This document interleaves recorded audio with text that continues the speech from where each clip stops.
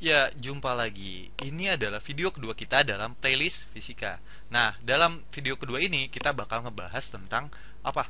Kecepatan rata-rata, iya, atau average velocity. Nah, kok pakai banyak banget sih pakai istilah dalam bahasa Inggris? Iya, karena lebih gampang gitu. Banyak banget istilah dalam fisika yang kita gunain uh, bahasa Inggris terus kita ambil huruf depannya doang. Contohnya apa? Oke. Kita baca soalnya dulu aja kali ya. Nanti sambil jelasinnya sembari jalan gitu, sambil jalan. Oke. Nah, pada soal ini kita lihat, Andi melakukan perjalanan dengan menggunakan sepeda sejauh 5 km ke arah barat dalam waktu 1 jam. Berapakah kecepatan rata-ratanya? Nah, kita bisa lihat di sini bahwa kecepatan yang ditanya adalah kecepatan rata-rata. Oke, kita tulis aja dulu di sini ya. Kecepatan. Nah, di sini adalah kecepatan rata-rata.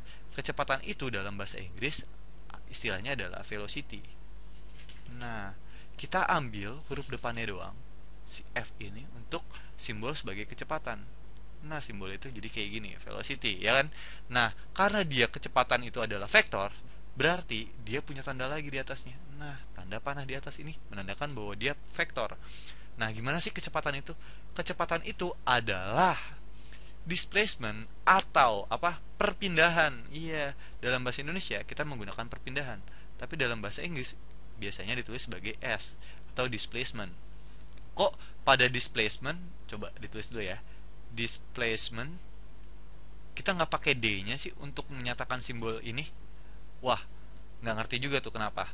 Tapi uh, kemungkinan besar karena uh, kecepatan ini nanti banyak banget kalkulasinya di kalkulus dan d itu udah menjadi notasi salah satu notasi di kalkulus jadi nggak digunain lagi nih. Berarti kita menggunakan s.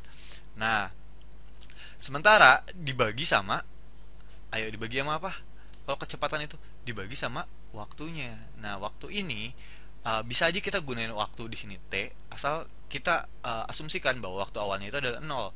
Tapi biasanya dalam percobaan tidak berarti bahwa seluruh waktu awalnya itu adalah 0. Berarti di sini kita perlu ganti. Jadi adalah delta. Delta di sini adalah tanda dari apa? perubahan. Nah, perubahan. Perubahan T-nya ini berarti dari time. Nah, mulai dong ke gambar sekarang. Kenapa banyak banget istilahnya menggunakan bahasa Inggris di sini? Oke T di sini untuk time. Perubahan ini delta ya. Nih. Nah velocity ini F dan S ini ya untuk displacement atau ya bahasa Indonesia itu adalah perpindahan. Perpindahan. Oke. Kita lihat bahwa uh, kecepatan ini adalah vektor. Nah lawan dari kecepatan itu apa? Kelajuan. Nah kelajuan Kelajuan dalam fisika bisa kita simbolin kayak gini. R aja gitu. Oke, R ini dalam bahasa Inggris ya adalah rate of speed. Nah, adalah sama aja. Karena dia adalah skalar, kelajuan ini adalah skalar. Oke, sekali lagi bahwa kelajuan itu adalah skalar, maka dia nggak peduli nih sama arahnya. Dia cuma peduli sama nilainya. Oh, yang peduli sama nilainya itu apa? Ya jaraknya jarak. Oke kita bisa tulis ini jarak dibagi sama waktunya. Bisa aja selisih waktunya gitu. Selisih waktu. Nah, simbol di fisika untuk jarak. Entah kenapa jarak di sini dia menggunakan d. Oke. Beda sama perpindahan yang pakai s. Mungkin kalkulasinya banyak banget di matematik nantinya. Oke. Di sini adalah selisih waktu. Selisih waktu tetap sama ya. Adalah delta t. Oke. Coba kita kerjain dulu untuk kecepatannya. Oke di sini adalah kecepatan Oke. Nah, Andi perjalanan dengan dengan sepeda sejauh 5 km ke arah barat. Nah, 5 km. Ini adalah nilainya. Diulang lagi ini ini adalah nilainya atau besarnya ya. Dan ke arah barat ini adalah pertanda untuk arahnya. Iya. Berarti 5 km ke arah barat itu adalah iya perpindahannya. Kita bisa menganggap bahwa Andi start uh, waktu start perjalanan, waktu memulai perjalanan, dia mulai dari jarak 0 km Berarti perpindahan dia sekarang adalah 5 km. Iya, tapi 5 km nya stabil ya ke arah barat. Nah, ke arah barat. Berarti bisa kita tulis bahwa kecepatannya si Andi, kecepatan rata-ratanya si Andi adalah perpindahannya dia adalah 5 km. Jangan lupa arahnya. Arahnya ganti warnanya mungkin ke arah barat, ke arah barat. Nah, dibagi sama waktunya dibagi sama waktunya. Waktunya berapa di sini? Waktunya dia adalah satu jam. oh berarti kita bagi aja langsung sama satu jam. Berarti kecepatannya si Andi sekarang berapa? Kecepatannya si Andi adalah 5 km per jam. Jangan lupa arahnya. Vektor loh ke arah barat. Ke arah barat. Iya. Nah nah sekarang kecepatan itu satuannya itu adalah meter per detik. Umumnya ditulis dalam meter per detik. Nah sekarang kita rubah nih. Coba kita rubah bareng-bareng dari kilometer per jam ke meter per detik. Coba uh, sini aja kali ya. 5 km per jam. Jadi meter per detik. Coba kita pengen rubah kilometernya dulu. Caranya gampang banget nih sebenarnya. Kalau kilometer di atas dan kita pengen ngilangin kilometernya ya udah kita bagi aja dia sama kilometer. Ya nggak nah satu kilometer ini ini kan berarti depannya itu satu kan? Satu kilometer itu berapa meter? Kita pengen ngubah ke meter kan? Oh satu kilometer itu adalah seribu meter. Ya nah kalau udah kayak gini gampang dong. Ingat arahnya jangan lupa. Tapi nanti aja kita tulisnya ya. Tempatnya nggak cukup nih. Oke berarti dia adalah 5 km per jam dikali 1000 meter per 1 km oh kilometernya bisa kita hilangin.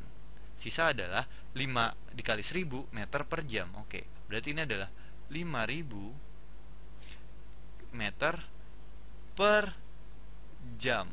Nah sekarang kita pengen ubah jamnya itu jadi detik. Gimana caranya? Ya udah jamnya kita ubah.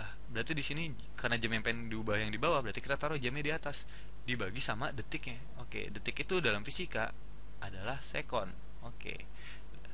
Nah satu jam itu berapa sekon? Satu jam itu adalah 3600 sekon. Berarti oh jamnya bisa kita coret kan? Set, berarti tinggal sisa meter per sekon. Oke berarti ini adalah 5000 meter per 3600 sekon. Sekon kita ambil s nya aja jadi meter per sekon. Oke berapa sekarang kecepatannya?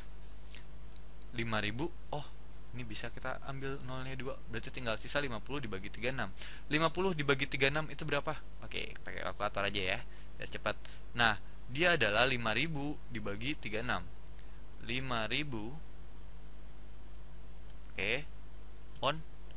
Nah 5000 dibagi 36 atau 50 per 36 sorry 5000 dibagi 3600 atau 50 dibagi 36 itu adalah 1,389 1,389 ingat satuannya adalah meter per sekon nah karena dia kecepatan arahnya jangan lupa dia adalah ke arah barat nah ini adalah kecepatan rata-ratanya si Andi. Kecepatan rata-ratanya adalah 1,389 meter per detik ke arah barat. Nah, gimana dengan kelajuannya? Oke, coba kita mulai lagi. Kelajuan itu adalah jarak dibagi waktunya. Nah, jaraknya si Andi berapa nih? Dia nggak peduli sama arahnya. Berarti arahnya kita lupain aja. Oh, dia mulai juga dari 0 sampai ke 5 km. Berarti jaraknya dia adalah 5 km. Iya Iya, jarak yang udah ditempuh Andi 5 km mau dia melukik melukik gini terus balik lagi ke sini eh kalau di sini jaraknya itu adalah 100 km dia bakal nulis 100 km gitu kalau misalnya jarak itu adalah 5 km dia bakal tulis 5 km beda banget sama perpindahan kalau perpindahan kayak gini nih oke deh kita klarifikasi dulu bedanya perpindahan sama uh, jarak gini nih kalau di sini A di sini B dan di sini C oke sekarang ini dari A ke B kalau dia berpindah dari A ke B Oke, dari A ke B, terus dia lari lagi ke C, berarti jarak yang ditempuh Andi berapa? Misalnya A ke B-nya itu adalah 5 meter, di sini adalah 5 meter. Oh, jarak yang ditempuh Andi adalah 10 meter. Terus perpindahannya Andi berapa? Oh, karena dia ke AC, perpindahan dia juga 10 meter. Nah, sekarang gimana kalau kayak gini? Andi pergi ke A ke B, terus dia pergi ke C, dia balik lagi ke B jaraknya si Andi berapa dari A B C balik lagi ke B berarti A B ke C balik lagi ke B nah berarti jaraknya si Andi berapa oh 5 5 eh dia lewat lagi 5 berarti jaraknya dia adalah 15 meter. Nah berarti kalau gitu perpindahannya dia berapa? Perpindahan dia dilihatnya dari titik awalnya. Titik awalnya itu adalah A. Berarti perpindahannya dia adalah ya A ke B doang. Berarti kan perpindahannya uh, nggak peduli kita dia udah ke C dulu apa enggak yang jelas perpindahan dia dari titik A adalah ya cuma 5 meter. Berarti perpindahannya dia atau S nya itu adalah 5 meter. Nah kayak gitu loh nah sekarang ini gimana? Eh jaraknya itu adalah 5 km dibagi sama waktunya itu adalah satu jam. Oh sama aja ya sama yang tadi jawabannya berapa? 1,389 1,389 meter per detik. Tapi kita nggak peduli sama arahnya. Oke ini adalah kelajuannya si Andi. Oke sampai jumpa di video selanjutnya